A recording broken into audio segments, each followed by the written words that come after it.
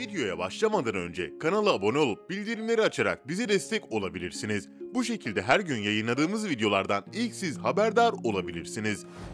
Kur'an'ın bildirdiğine göre kainatta canlı cansız her şey Allah'ı zikir ve tesbih eder. Kur'an'da yerde ve gökte bulunan her şeyin Allah'a tesbih ettiği haber verilmiştir. Göklerde ve yerde bulunan her şey Allah'a tesbih etmiştir. O azizdir, hakimdir. Ayetteki her şey Allah'a tesbih etmiştir ifadesi çeşitli şekillerde yorumlanmıştır.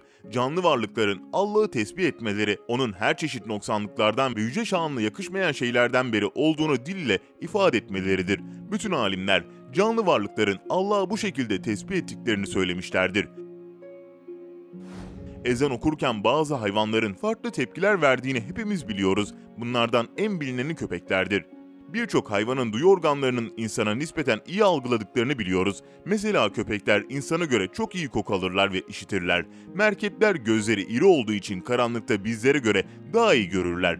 Bir hadiste horozların melekleri görünce öttüğü ve eşeklerin de şeytanı anırdığı bildirilmiştir. Başka bir hadiste ezan okurken şeytanların kaçtığı bildirilmiştir. Demek ki hayvanlar bizim görmediğimiz varlıkları görüyorlar. Ezan okurken köpeklerin ulumasına gelince bu hadisler çerçevesinde bakmak lazım. Çünkü ne köpeklerin neyi görüp uluduğunu bilmiyoruz. O zaman köpeklerin de ezan okurken şeytanların kaçışını görüp ulumuş olabileceğini düşünebiliriz. Bu videoda ise gölde yüzen ördekleri görüyoruz. Orada bulunan bir kişi Kur'an'dan ayetler okumaya başlıyor. Normalde kaçan ördekler garip bir şekilde adama doğru geliyor. İnternette paylaşılan bu video binlerce insanı duygulandırdı. Allahu Akbar. Look, when I stop reading Quran, how they're gonna run away. Gone. And then I Hepimizin sevdiği hayvanların başında kedi gelir. Peygamberimizin de çok sevdiği bir kedisi vardı. Peki daha önce hiç Kur'an dinleyen bir kedi görmüş müydünüz? Muhtemelen pek çoğumuz kedisinin tepkisini merak ederdi. Ama bu video biraz da olsa bize cevap veriyor. Gelin o anlara hep birlikte bakalım. قل هو الذي أنشأكم وجعل لكم السمع والأبصار İlk başta dediğimiz gibi özellikle köpekler ezan sesine karşı çok daha hassaslar. Bu videoda bir köpeğin ezan olan tepkisini görebilirsiniz. Allahu Ekber! Allahu Ekber! Eşhedü en la ilahe illallah! Eşhedü en la ilahe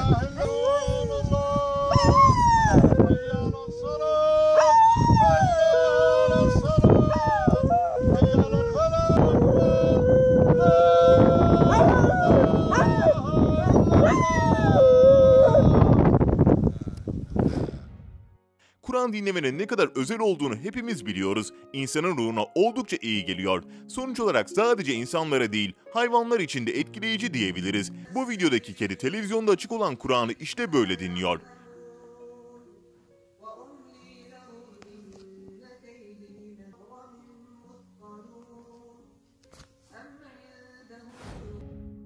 Bu videoda ise camiye getirilen bir maymun var. Her ne kadar doğal ortamında bulunmasa da maymun bundan hiç şikayetçi değil.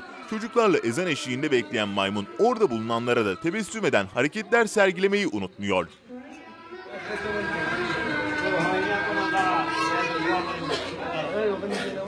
এই যখন নামাজ পড়ে চালু হয়ে যাবে তখন তুলবি তখন দেখি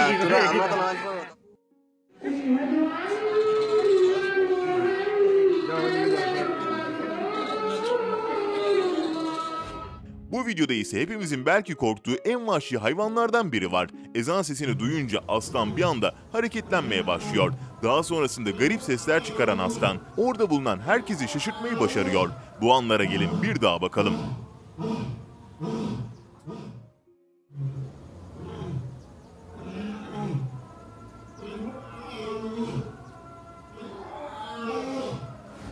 Ezan okunduğu sırada burada bulunan kedilerin verdiği tepki ve eğlenceli hareketleri herkesi sevindirmeye yetiyor. Peki siz bu kediler hakkında ne düşünüyorsunuz?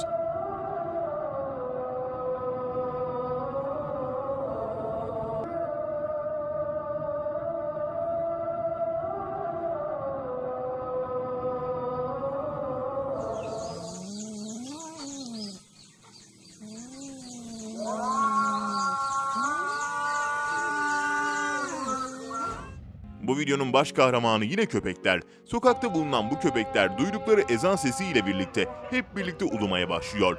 Orada bulunan insanlar da video çekmeyi ihmal etmediler.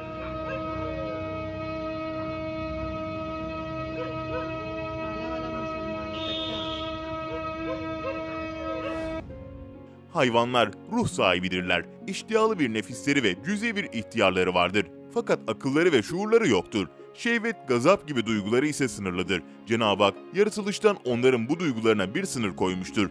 Hayvanlardan her bir nevin belli bazı vazifeleri ve hizmetleri vardır. Cenab-ı Hakk'ın tayin ettiği bu vazifeleri onlar tam bir şek ve itaat içinde yerine getirirler. Fıtratları kendilerini yaratan ve rızıklarını veren Rablerini bilir ve tanır. Kur'an-ı Kerim'in sarih beyanına göre zerrelerden güneşlere kadar canlı cansız bütün varlıklar her an Cenab-ı Hakk'a birer mahsus tesbih, birer ibadet ve birer has secde etmektedirler. Ahirette hayvanların ruhları baki kalacak, cesetleri ise toprak olacaktır.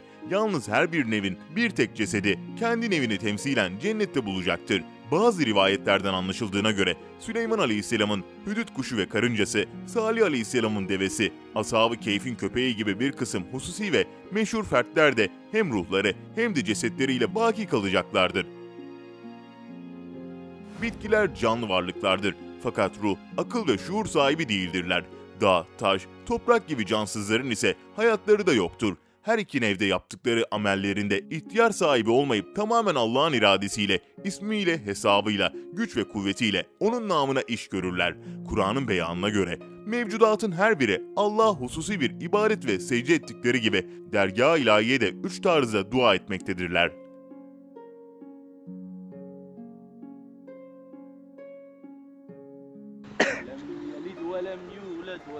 يكن له كفوا أحد. بسم الله الرحمن الرحيم. كفوا أحد. Look how close they are now. إيه ده. ما شاء الله. بسم الله الرحمن الرحيم. وسواس الخناس الذي يوسوس في صدور الناس من الجنة والناس.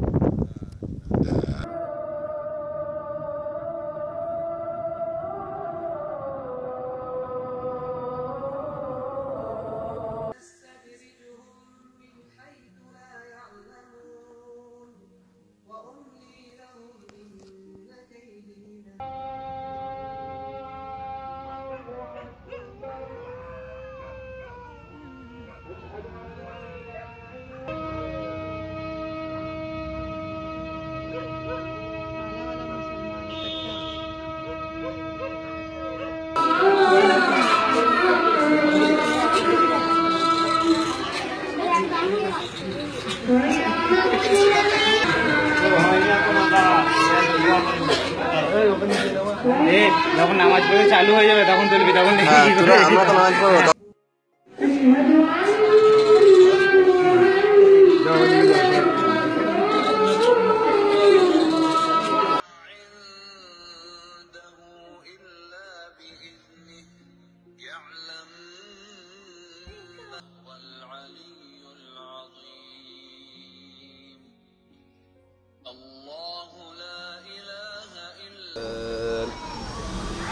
والنجم والشجر يسجدان.